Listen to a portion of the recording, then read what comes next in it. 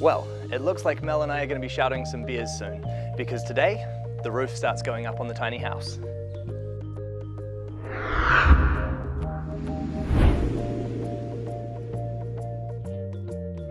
So, just a quick word about the roof. We're actually putting on a white colour steel roof. The reason we chose a white roof was actually to do with heating and cooling in the house. By having a white roof, what you're doing is you're reflecting light and heat back into the atmosphere, which can really actually make a big difference when it comes to keeping your house cool. Now, even though our tiny house is designed to be a mobile structure, we have actually designed it with a north-facing aspect. Part of that means that the northern side of our house, as you can see on this plan here, is virtually entirely covered in solar panels. What those solar panels essentially do is they will create a, almost like a second roof by shading the first roof, which creates even more of a cooling effect on the house. Having the white roof and that lower temperature on the roof will actually also aid the solar panels and help them to increase their efficiency by having a cool backing for the panel and creating that diversity between the front of the panel, which gets really, really hot, and the back, which wants to be cooler.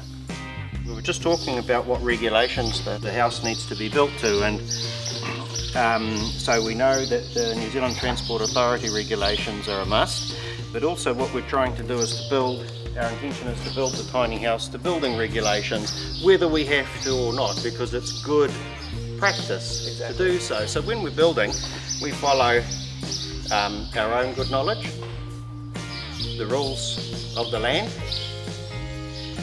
any extra council regulations in your jurisdiction, we follow manufacturers' recommendations and we follow the advice of the Building Research Association or BRANZ, if you like. And then you'll find that if you follow all of those, it's very hard to get anything wrong or have any comebacks or have anything fail because all of the people that know what they're talking about have asked for it to be in a certain way.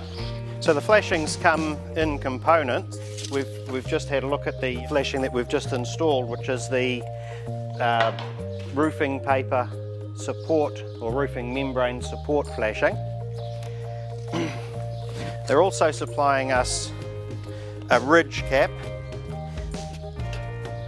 which we'll show you later, which is fits over the very top of the roof. And you'll see it's got what we call a soft edge, which we will fold out and bend into the corrugations. That's it here. Right. So we'll, we'll, we'll demonstrate that a little bit later on. But we go through and we fold the whole thing out and then bend this down into the corrugation so it looks like the roof. Right. Bundled up here we've got the gutter. So yep. we'll, we'll demonstrate the fitting of the gutter a little bit later on. And over here we've got the iron itself. Right, so the roofing iron actually comes in relatively small sheets, doesn't it? Well, it depends on the size of the roof or what your needs are. Um, and so they can make it to virtually any length that their machine or trucking is able to bring it. So there are certain lengths that just get too long sure. or you need a special permit to carry. But basically a really good idea is to measure your sheets and order them the length you want because even with a small amount of sheets like this at um, 20 or 30, it's really sore hand. Using the nibblers is noisy and a lot of work a lot of the um, punchings that I showed you falling on the ground or wherever to take care of. Yep. Um, if you do that up on the roof, they can, on a hot day, um, you know, they can sort of stick, you stand on them, they scratch, they stick in the bottom of your boots. So really good idea to measure your iron and get it cut. Saves you a lot of work.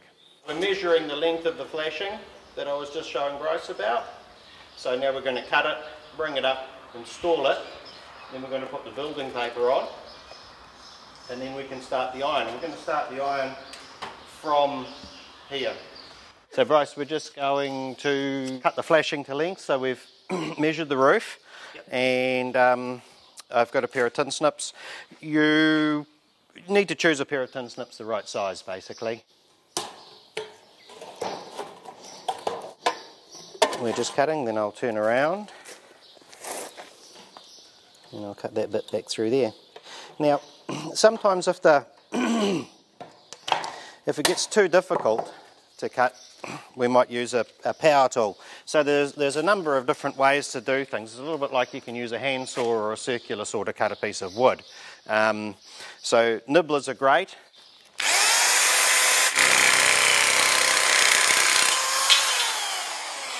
That's all the tricky stuff, yeah.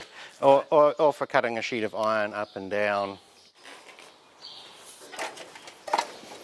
Does this go underneath the skylight flashing? Yep. Until it can sit above the purlin. Yep. Like that.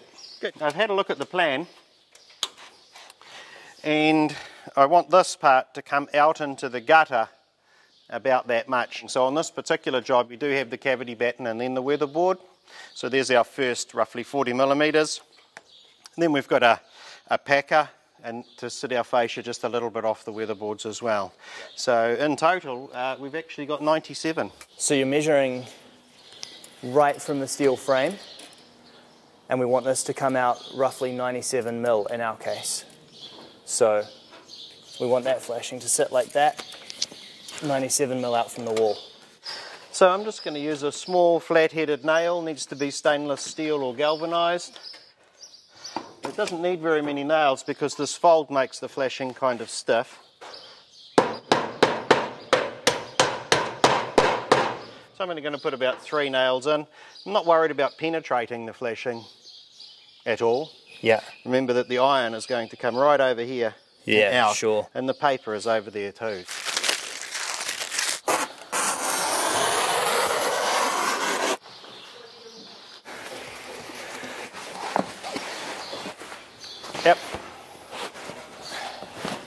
So just to make it easy, we're going to put the lap line exactly on the top of the purlin. And then I'm just going to use the staple gun.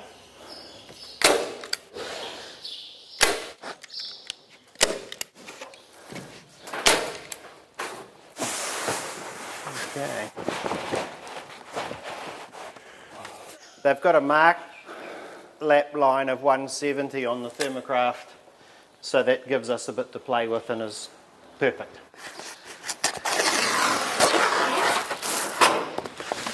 Um, these are just clips to, that hold the flashing kit in place. Um, but I wanted the paper to run underneath them, so I've I, I took them off and now I'll put them back on.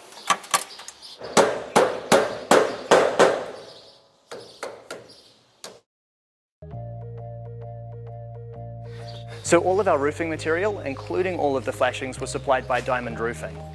They're all 0.55 millimeter marine grade color steel roof. The color that we chose was titania for the reasons that we mentioned before in the video.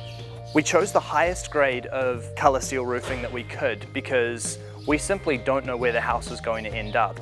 It could end up right by a beach. In that case, it's in a corrosive marine environment and you need to make sure that all of the fixings, all of the flashings, all of the roofing materials and everything that you put in your tiny house is of a high enough quality to be in a whole range of different environments. So to fix our roofing iron, the screws are almost always supplied by the company that supplies the roofing material. And here we are.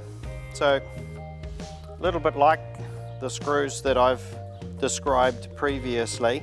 This is a screw designed for metal. So we can see that it's got its own cutting tip. And this is called a hex head, which is excellent for driving with our battery drill just the same. And just in case we make any scratches, titanium. A little touch-up kit. Fantastic that they've given us that as well. Thank you, Bryce. So what we'll do is we'll just get this one in the right place. Yep. And then we will just only put a couple of screws in it because we want to make sure we're heading parallel to that end, that we stay correct across the bottom here. Yep. That we fit the Velux, and yes, that we're not Too high. too high up there.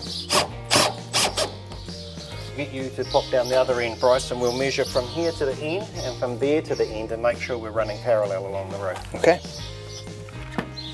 It's always good to take a bit of time to set this first sheet up because it'll dictate the rest of the entire roof and you can make little adjustments as you go but if this thing's throwing us out just a little bit the roof's going to start to want to go off the tiny house instead of along it. Uh, I'm going to put a couple of screws in this to hold it where it needs to, you know, to lock it in place and then we're going to put all the sheets on one after the other and I'm only going to put two, three, maybe four screws max in each sheet until we've got all the way to the end and I know it's right and then I'm going to screw it off. It's important to get these screws tight enough but not too tight. You'll see on these screws they have a washer that's creating the waterproofing where it goes through a little, uh, I think it's a neoprene washer. So too tight and we start to squash that too much, screw it up. Um, but of course we need to hold the iron down so that there's no play in it. So the idea is that once I've punctured the material and I've slowed the drill speed down a little and I'm screw, pulling it up nicely, put a pressure on the sheet, make sure the sheet is held down, not flapping but held down, and then gently take the screw that last couple of turns up so that there's no play in it. It's important to, when you're roofing, to make sure the screws go in the top of the ridge, not in the valley. And that's simply because when the rain hits the roof, if it hits this part, it, it runs down and the rain is actually, as you might have seen on a corrugated iron roof, it runs down the valleys. And so the water's really keeping away from the screw and the washer isn't having to work very hard. If we fixed it in here, of course during the rain, the water would be washing, washing, washing and getting in.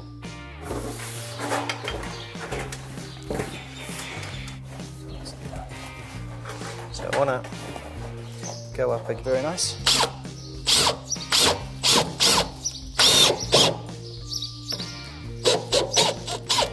Um, I'm cutting this sheet that's too wide because it's the last one. So I'm just uh, nibbling the edge off. Tin is sharp at the best of the time, often cut edges are even sharper. It's always just need to be careful with tin. None of the roofing material or anything in this case is actually going to be wasted because all of our offcuts will be actually used in other projects, things like beehives, chicken coops that'll all be coming into the house later on. So the whole way along this build, we've been really careful to make sure that we're not exceeding the maximum dimensions for a light simple trailer. And one of those dimensions is of course the height. This is one thing that's really tricky because there are a lot of things that actually go into making up the height of your trailer. As you can see, it's not just the framing, there are multiple different levels. On top of those frames, we've got the purlins, then the roofing, then the ridge cap. So all of these things are actually adding on to create additional height to our trailer. And it's a good idea the whole way across the build, just to keep monitoring your height and make sure that you're within those legal limits when the weatherboard and everything goes on, we'll have a barge made big enough right, to, to come over back over two corrugations. Cool. And then we will be happy with the weatherproofing. Great. I could use a piece of string or flick a chalk line or use a straight edge and I'm just marking where my screws are going to go. I'm going to screw the roof off.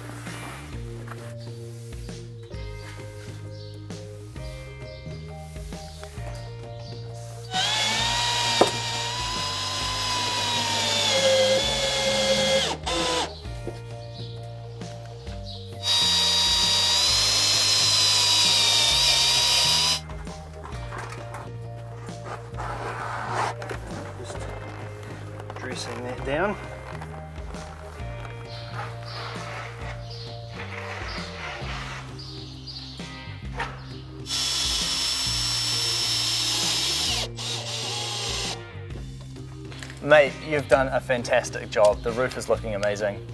Thank you nice. so much. Hey, it's it's Thanks, brilliant. Well, having some help makes it easy. Yep. So yeah, next thing we've got to do is just a little bit of trimmings, a couple of short sheets around the bottom of the Velux. Right. Um, and then really we've just got to repeat the same thing on the other side. Then we can put the ridge cap on. So now it's okay to go ahead and get your solar panel people here.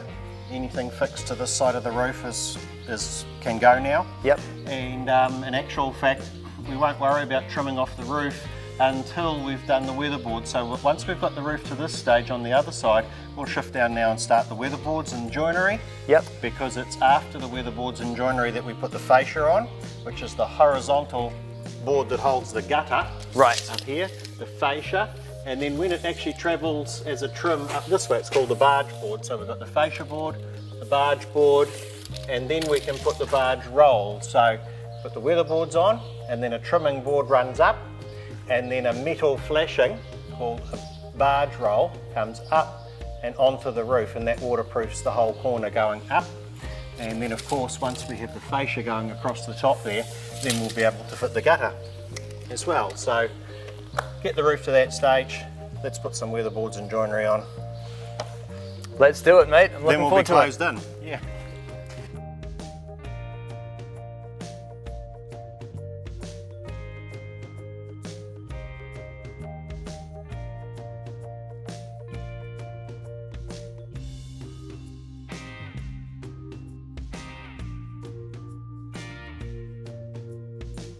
It is so exciting for the roof to have gone on. And when you're actually inside the house now, you can really get an indication for how the space is going to feel once it's completely enclosed in. And it is really lovely. Really excited to see it go to the next level. Just remember, if you have any questions about the materials, if you would like to get in touch with our suppliers, or if you would like to find our roofing cut list, you can find all of that available on our website at livingbiginatinyhouse.com.